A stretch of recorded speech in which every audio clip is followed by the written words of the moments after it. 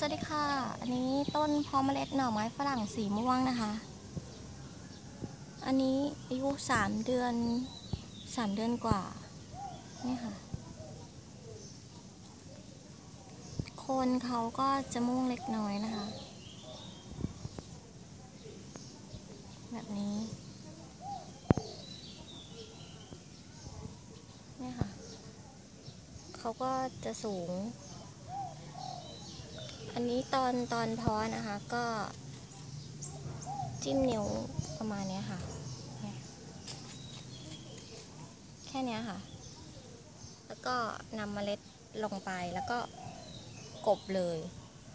แล้วเขาก็จะขึ้นมาเป็นต้นแบบนี้ค่ะนี่ชอบที่จะเพาะลงดินมากกว่า เพราะว่าต้นแข็งแรงอย่างก็ไม่ต้อง ไม่ต้องขุดขึ้นมานะคะ ต้นเขาจะแข็งแรงแล้วก็โตไวแล้วก็จะแตกกิ่งก้านได้ไว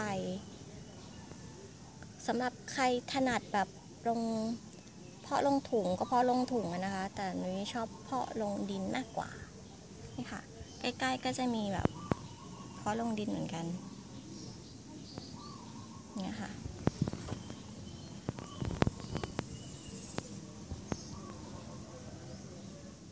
ธีก็แค่จิ้มดินเหมือนเมื่อกี้ที่อธิบายไป แล้วก็นำเมล็ดลงแล้วก็กบรดน้ำนะคะ ให้ชุ่มชื้นอยู่ตลอดเวลาแล้วเขาก็จะขึ้นนี่ค่ะ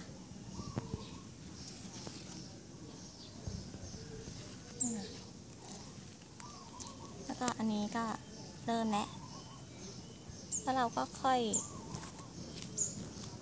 เอาที่ไม่ใช่เนี่ยค่ะไป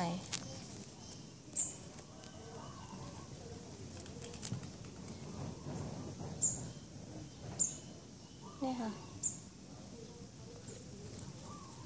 ง่ายๆค่ะการปลูกหน่อไม้ฝรั่ง แต่พอลงดินมันแข็งแรงแล้วก็ทนดีค่ะ ลองดูนะคะ ใครถนัดลงถุงก็ลงถุง ใครจะถนัด